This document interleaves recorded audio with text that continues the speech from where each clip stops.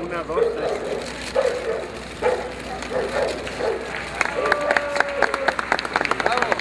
Con tratamientos como medicina tradicional, homeopatía, herbolaria y acupuntura, este lunes quedó inaugurado el centro especializado en medicina integrativa en la colonia San Rafael.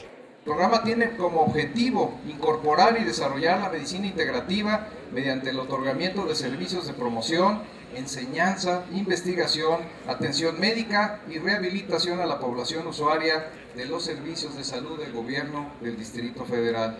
Se incorpora la medicina integrativa de lunes a viernes de 7 de la mañana a 8 de la noche y hará énfasis en acupuntura, homeopatía, fitoterapia y herbolaria. Con una inversión de 22 millones de pesos, esta clínica beneficiará a los cerca de 3.8 millones de derechohabientes de los servicios de salud de la Ciudad de México. Las autoridades de la capital calificaron como un hecho histórico y de vanguardia la instalación de esta clínica, ya que se ha podido conjuntar la medicina alternativa con la medicina tradicional. Durante más de un siglo, dos siglos, ha habido una gran resistencia a admitir, desarrollar, aceptar y promover lo que hoy se nos presenta.